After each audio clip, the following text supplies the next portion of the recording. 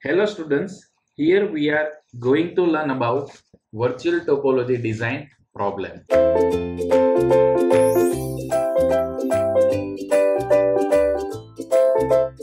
So a light path provide single hop communications between any two node uh, which could be far apart apart in a physical topology.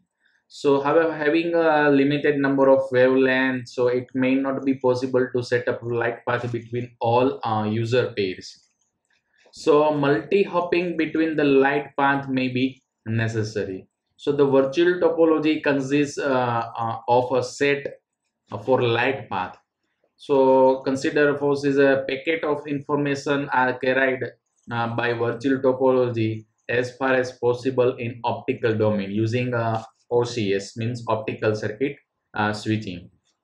And uh, second consideration, packet forwarding from light path uh, to light path is performed via uh, electric uh, or electronic packet switching. so light path in the virtual topology is using RWA techniques. So the problems, the, an optimization problem uh, to be optimally uh, select a virtual topology uh, subject to the trans receiver means transmitter and the receiver. In also wavelength constraint with one or two possible objective functions consider as a uh, given traffic matrix uh, minimize the network wide average packet delay consider as a packet delay and consider as a second uh, uh, maximize the scale factor by which the traffic matrix can be uh, scaled up. So the the consideration of the backbone network. So for that the information is uh, transferred over a, a, backbone packet uh, at the rate of 1.544 Mbps per link. So the backbone consists of, of over uh, so many nodes also. So dozen of nodes so it's containing the one or more computers operating as electronic packet switching. And these switching are connected with the one another via using optical fiber in the irregular mesh shape. Uh, consider one node to second node to third node uh, fourth node fifth sixth seven eight then first is connected like so this is a irregular mesh shape in which all the node are connected. And then the fiber is employed to connect the node. So the fiber's tremendous transmission bandwidth is not exploited. And the data transmission on each fiber link is performed only uh, T1 so they provide 1.544 right on the single uh, wavelength. So the general problem statement defined is that the embedding a desired virtual topology on given physical topology or using in a fiber optic network. So consider over here the physical uh, topology GP is equal to V into EP uh, consists for the way and undirected graph. So V is a set of a network node. So consider the first parameter is set of node and EP is the set of link connected between the node. So undirected means that the each link in the physical topology is uh, uh, bidirectional. So the number of wavelength uh, uh, carried by each fiber is known as m, number of wavelength.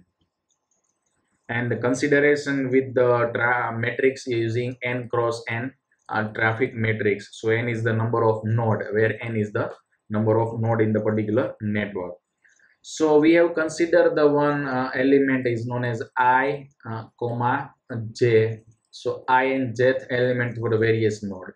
So in this case the average rate of uh, packet traffic from the uh, node i to the particular j and then traffic flows may be asymmetric.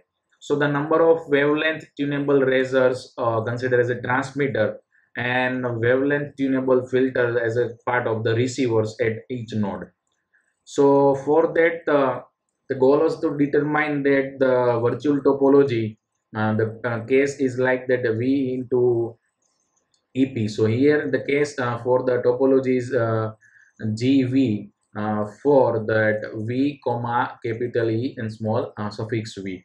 so as another graphs where the out of degree of node is the number of transmitter at the node uh, second point for this consideration is the the in degree of node is the number of receiver at the node.